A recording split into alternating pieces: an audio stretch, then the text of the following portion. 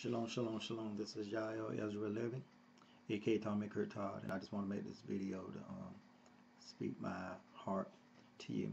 I just finished watching um, a series of videos by um, Pastor Creflo Dollar of um, World Changers International here in um, Atlanta, Georgia. And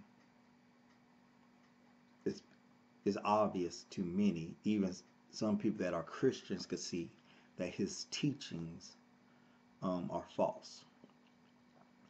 And I know some of you that are starch Christians and supporters of um, ministries like um, Creflo Dollar um, will refute everything I'm saying. And I have no problem with that. You have the right to refute it. But anytime you have a man that say he is a man of God and he teach a message that is contrary to the very words of God himself. You have to ask yourself how, how does that line up? How, how does that work out? For you to say something that contradicts the word of God, yet God gave you them words to say. So now you're basically saying that God is working against himself, that God is double minded, that um, God is suffering from Alzheimer's, that God is forgetful minded, that he said what he said previously, even though he says, you know, that he changes not, even though he mentions the fact that his covenant is an everlasting covenant, even though he says that through his holy prophets, that um, the covenants throughout the generations, meaning it is ongoing. Um, a, a eternal covenant um, internal instructions do not have an expiration date assigned to it. So um, the videos I, I was watching were entitled The Danger of Mixing Law and Grace. And one thing that I love um, about watching videos like this is how they hardly ever go into the Tanakh, into the Old Testament, into the Torah, where we see Yah speaking. He's, he's, he, he's stressed in the first part, because this is a two-part video, he's stressed in the first part of the video that we must listen to what Paul is saying. Not listen to what um, God is saying. And even more shockingly, he, he even stressed we got to listen to what Jesus is saying. Now, if you're accepting Jesus to be your Messiah, to be your Christ, to be your God man, to be God in the flesh, you will think you will lean upon what he said. But no, he wants to lean upon the words of Paul, a man that never walked with um, Jesus at all, never was taught by him at all even though he declares that he was taught by the Spirit of Christ.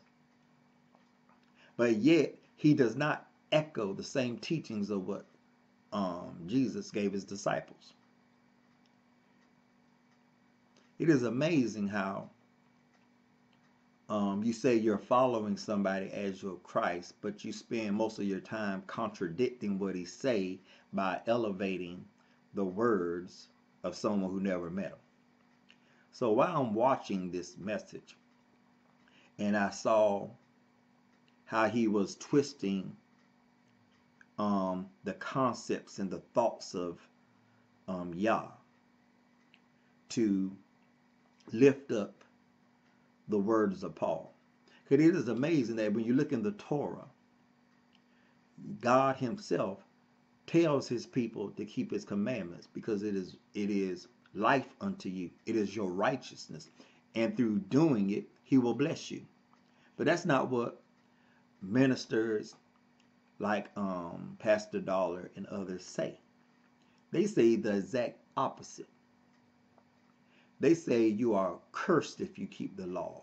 They say if you try to obey the laws of God, that is your own self efforts. That is you doing the works of the flesh. I have a question for you. How is doing divine commandments that come from a divine God, the Holy One of Israel, the God of Abraham, Isaac, and Jacob, the works of your flesh? You didn't come up with these instructions. So how are you doing your own works?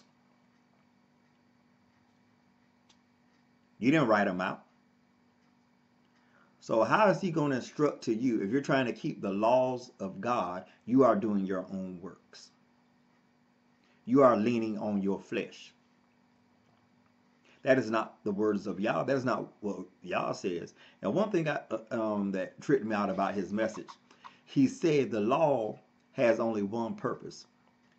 When God gave the law to the um, children of Israel, it was so they could see that they are wretched. They um, they can't do right. They're no good, and they will see since they cannot perform these laws and they will finally wake up to the knowledge that they need a savior, that they need Jesus to help them. Now show me in the Tanakh, the Old Testament, where God himself say that's the reason why he gave the um, commandments to Moses to give to the people. I wait. Show me where God tells Moses, I'm to tell you the real reason why I'm giving this, you know, law is because they jacked up and I already know they can't keep it. But I'm going to, you know, there's some death penalties with some of these laws I'm giving, even though I know you can't keep them. That is painting a picture of our righteous God, of our just God to be unjust. It's just um, like some of us who are parents. We do not give instructions to our kids. Like, girl, I'm telling you right now, if you don't fly up on that roof and get that frisbee down, I'm going to whoop your behind. Why are you going to give them instructions knowing that they can't do and then punish them for it? That's the actually the picture that some people paint of the God of Abraham, Isaac, and Jacob. That he gave commandments that they couldn't keep, and then he punished them for something that he knew they couldn't keep. Why are you believing such fallacy? I'm gonna tell you why I think it is. Like I said, I'm I'm coming from a background I'm not a novice to this. I was a I was a Christian for um over 20 years. I was in the ministry. I was an ordained uh, um, apostle within the church. I'm not a novice to the um, messages um, within Christianity and the different sects of Christianity. I have been around for a long time. I'm a whole lot older than what I look. I have heard and I have seen a lot. And it is amazing how um, they would twist the word of God where it will um, really benefit them. Because it's amazing how they talk about you cannot do your own efforts. You have to just trust in the grace of God. You have to trust in the finished works of um, Jesus. When he died for you so you could be blessed without measure. But it's weird. They constantly want you to give your money, but when you give your tithes and your offerings and your gifts of love, that's not acts of the flesh. That's not works of the flesh. That's not your own doing. For some reason, that's divine faith being manifested in the earth to show God and to show Jesus and to show the Holy Spirit that you mean business. That's showing them how much you really have faith in God. But then, but if you try to keep the actual commandments of God that God told you to keep, He already said it's not a hard thing for you to do. You just have to submit to the will of God and show God that you love Him through your obedience but no, no, no, that's, that's, that, that's, that's death. That's death. That brings you death. Don't do that. You know, they don't want you to do that. They want you to just sit around, have grace, sing kumbaya, be all happy, give your tithes and offerings, give your, your, your gifts of love, and just sit back and live by grace. And God's just going to bless you. He don't care how disobedient you are to his laws. That is the biggest fallacy that has our people hoodwinked. Have them in prison, in captivity, and exiled from the very things of God today. Because we refuse to submit to the actual words of God. It is a very easy concept to open your Bible and to see where it says, Thus said the Lord. But in the actual Hebrew, that the Lord there's not talking about Lord Jesus. It's Lord in all caps. And in the Hebrew, that's the you, hey, ba, hey, the you, the hey, the bob, the hey. That is talking about the name of the Creator. That has nothing to do with no Messiah. That's not talking about Jesus.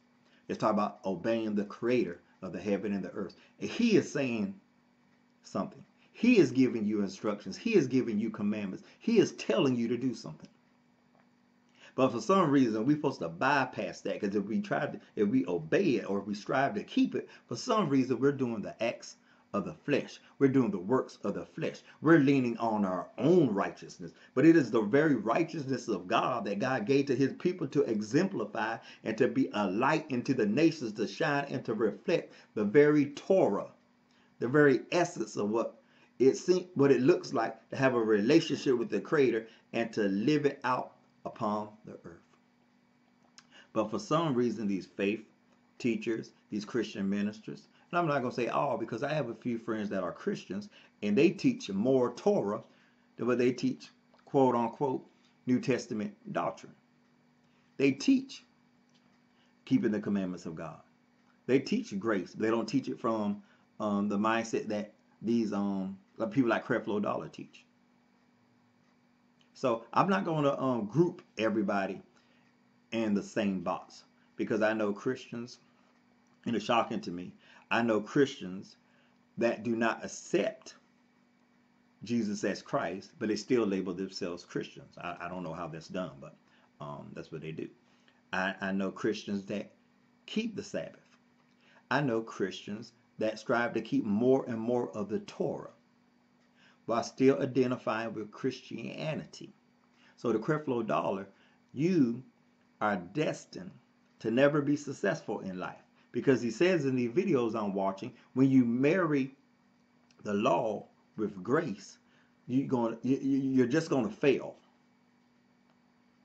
And it's it's amazing how they teach a doctrine of men and will suppress the very words of Yah himself.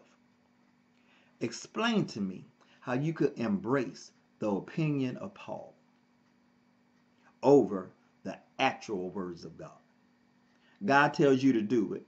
Paul come around and say, you don't have to do it. It's not needed. Trust Jesus.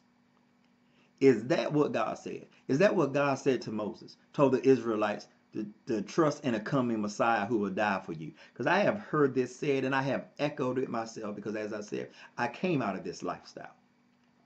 I came out of this faith. And it was said to us that the, the saints of old look towards the future of the sacrifice of Jesus. And we that live in today look back at the sacrifice of Christ. Now show me in the Torah where Yah gave Moses such such instructions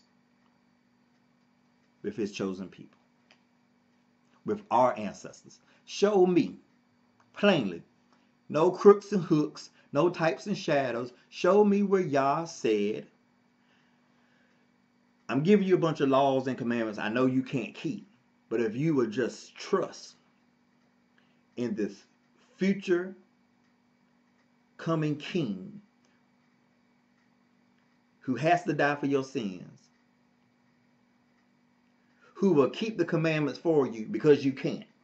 But if you will trust in him, everything will be well. Even though you will not get to experience him, because he's going to come some thousand or two thousand years after you. But trust in his coming and you be saved. And you know, they tell you trust you, you know, it's by the Spirit, you know, and you want to be faithful to God. You want to live right. So you trust them. And then as a minister, you regurgitate what you have been heard to get so ingrained in you, to get so rooted in you. You start to believe it yourself and you teach it so fluidly. And then it all crumbles when you actually see and what I'm teaching the massive of people lining up with what I see in the Word of God. And when I say the Word of God now, the New Testament is not included. The New Testament has nothing to do with it. But I will say this the New Testament has some truth in it, but the truth that's in it comes from the Torah. It is Tanakh based. So if some of the things in the New Testament is true, and it's only true because it's coming from the Tanakh. Do I really need the New Testament? I just need to go back to the Tanakh. And Yah made it perfectly clear that He is our Savior, and besides Him, there is no other. He never said that trust in me and my Son, and you will have salvation. He never said trust in me and my Son. He never names the Messiah. We see more respect given to um, King Cyrus. Yah gave his name and his function before he was ever born. But when it comes to the Christian Messiah, Yah does not make such a mention of him, does not call him by name and say anything about him. But we will have to use the methods of types and shadows and everything like that to say that's him right there, and he's all throughout the Old Testament. Come on, you got we got to do better than that. We have got to stop taking scriptures out of context and say there it is right there. That's him right there. And then when you look at it in context, you can see it was a past event that already passed way before his time. It was talking about actually someone else, or, or excuse me, or it's actually talking about animals. Like when it say lambs, you know, the creator was actually talking about lambs to sacrifice. The creator actually gives a list of what is acceptable to give him for a sin sacrifice or what is acceptable as a sin sacrifice. He never put a righteous man on the list. He never put a righteous divine man on the list. He never put his himself on the list of what is acceptable unto himself. So Come on. We got to wake up. We have to return back to the words of the living God and follow his instructions, his precepts, his commandments, his laws, his regulations. Because that is what he gave his people. He gave them laws, statutes, and commandments. And he said to love him with all our heart and our might and our strength. And to keep these commandments. Because remember, the, the conclusion of the whole matter is fear God and keep his commandments. It didn't say fear God and his Messiah and live by grace. It don't say fear God and his Messiah, live by grace, and forsake them no good laws because they're going to kill you. It don't say that. So why do we embrace a book that forsakes the very words of God himself? And then say we're obeying God. God does not work against himself. God did not speak against himself. But we but we do see Paul saying, I'm giving this to you. It's not by commandment. This is my opinion. And we got people teaching Paul's opinion like it's the very words of God, overlooking the fact that he said, This is not by commandment. This is just me saying it. And we still talk about it's the word of God and that it was inspired. Guess what? You could be inspired to do something and still turn out wrong. I could write something about the goodness of God and be driven by the concept I have about how good God is and write something down that might have falsehood in it, but I was still inspired to write it. So you got to understand, are you inspired to pen something because Yah is giving you something to pen, or are you just moved by the concept and the ideals you have about God? It's two different things. So we have to understand this. Excuse me. So we have to return back to God Almighty, Yah, the Elohim of our forefathers, Abraham, Isaac, and Jacob. And a part of returning back to him includes returning to his law, statutes, and his commandments, the Torah. That's all I wanted to say. This is your brother, Yael Ezra Levy, aka Tommy Kurtad. Shalom, love, and blessings. Return back to Yah and get back to keeping his, his commandments. Shalom.